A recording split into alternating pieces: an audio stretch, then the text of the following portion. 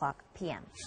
We now turn to Commitment 2012 just one day before Election Day. Tomorrow, voters from Jefferson, Plaquemines, and Orleans parishes will decide whether to extend the tolls on the Crescent City connection for another 20 years. And happening today, you will have a chance to have your questions about the Crescent City connection tolls answered.